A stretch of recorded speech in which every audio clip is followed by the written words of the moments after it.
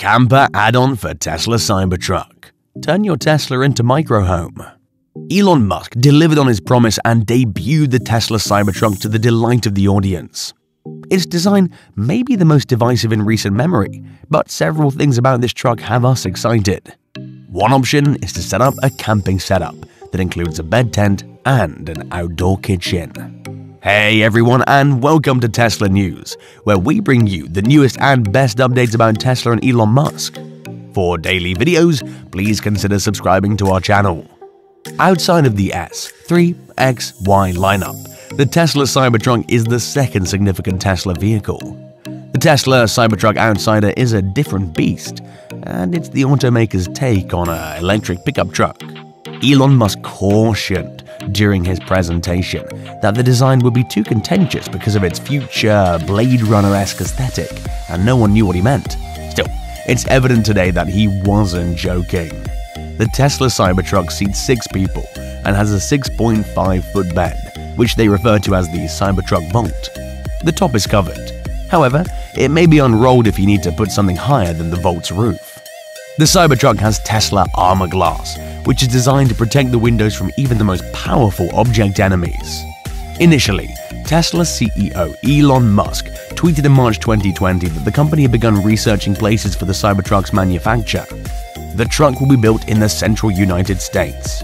Electrek exclusively reported in May 2020 that Tesla's next facility would be in Austin, Texas. Tesla formally won a tax credit for the new Gigafactory in Austin the following July, and initially referred to the factory as the Cybertruck Gigafactory. Still, we later learned that it would be used to build the Model Y. It was later called Gigafactory Texas by the manufacturer. When it opens, Tesla will eventually produce the Model 3, Model Y, Cybertruck, and Tesla Semi at the Gigafactory Texas. When Tesla debuted the Cybertruck, it put a large, clanky wrench into the pickup camper industry machine. The world's hottest pickup truck became incompatible with every specific camper product on the market in an instant, from basic shells to massive slide-in expanders. There will undoubtedly be plenty of Cybertruck-specific campers to fill the hole. Still, Form Camper, a California business, has created a pickup camper that works with both the Cybertruck and standard pickups. It begins as a carbon fiber box that fits neatly between the bed walls before electrically expanding into a hard-walled hut for all-electric camping. The campers will have to devise designs that do not sit on or extend past the bedsides, where Tesla's slanted rails will interfere, to accommodate both Cybertruck and standard pickup beds. In the case of Cyberlander, this entails customizing an expandable box to fit the Cybertruck's specific dimensions and connecting it to Tesla's battery. Form Camper takes a more universal approach, designing a simple rectangular box that fits between the sides of almost any pickup bed. Of course, sleeping in a box isn't precisely comfy for individuals who consider themselves among the living, so Form is working on a comprehensive expansion system. Form's electrically actuated box-in-box design extends off the back of the pickup truck to create a separate room that drops to ground level, while simultaneously deploying a single hard roof over the entire space.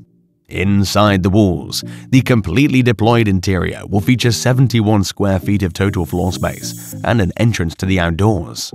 A pair of nylon ripstop canopies will be deployed off the sides to increase the overall covered area. The Form Camper appears to be a high-tech pickup-top version of an Aussie hard-floor camping trailer at first glance.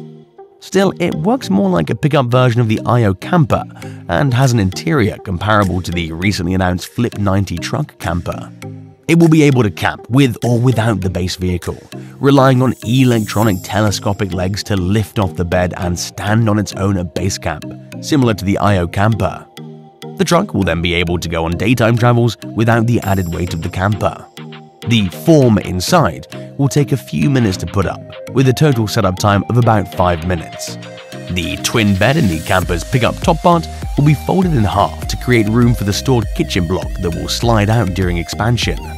When necessary, they'll slide out the kitchen cooktop, sink and separate workstation, a fridge slash freezer and numerous drawers and cupboards will be included in the kitchen block.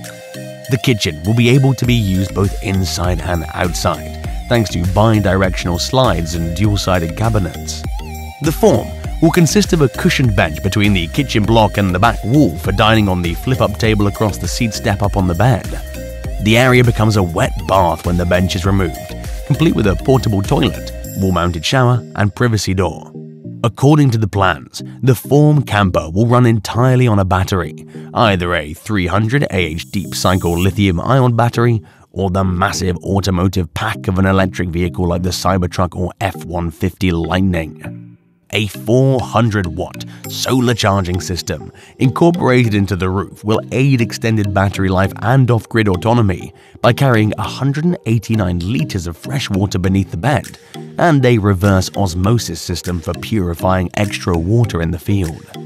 Form will use a weight saving sandwich construction of aluminium honeycomb between carbon fiber to keep the dry weight under 1,000 pounds and the tank filled wet weight under 1,300 pounds.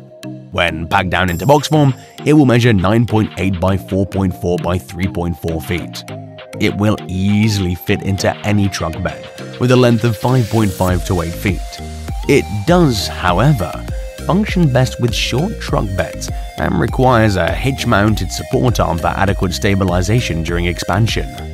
To stabilize the camper during expansion, shorter bed trucks will need a hitch-mounted support arm. In addition to the Cybertruck, Form focuses its initial marketing efforts on market leaders such as the Ford F-150 and Chevrolet Silverado. However, it won't work with the Rivian R1T because the truck has a short 4.5 foot bed.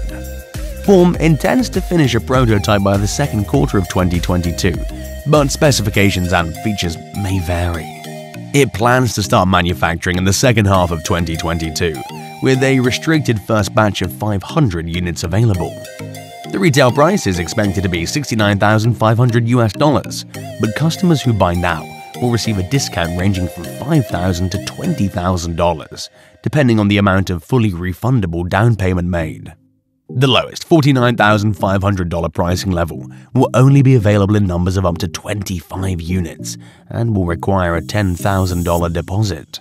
The notion that Tesla will offer such a vehicle is mainly based on a photograph of a Cybertruck setup for camping that was released with the company's official batch. It's conceivable that this image is merely intended to demonstrate what the Cybertruck can be outfitted with. Tesla is undoubtedly aware of how popular overlanding has become, and that it'll be one of the first applications for the Cybertruck. Based on the official image, the Cybertruck appears to be parked amid Northern California's forests of gigantic redwood and sequoia trees. The truck's tonneau cover is retracted, and a tent is erected over the bed, extending the A-line pillars to the vehicle's back. The new design offers a living space in the trunk bed where one can sleep and sit up, but that's it. Tesla has a complete outdoor kitchen that stretches out from beneath the trunk bed, not outdone by Rivian's built-in kitchen for its R1T truck earlier this year. There appears to be a two-burner electric stove and lots of prep counter space. However, there is no sink or refrigerator. Again, Tesla's simply given a single image with no context or explanation of what it could mean. However, it has us thinking about the Cybertruck as a platform for overlanding and the kind of rigs that may be built. However, there's plenty of time to plan since the Cybertruck isn't expected to go into production until late 2021, and the 500 mile version won't be ready until 2022. With that, we've come to an end. Let us know your thoughts and put your favorite exercise in the comment section below. Make sure to give us a thumbs up and subscribe to our channel for more exciting content. Until next time.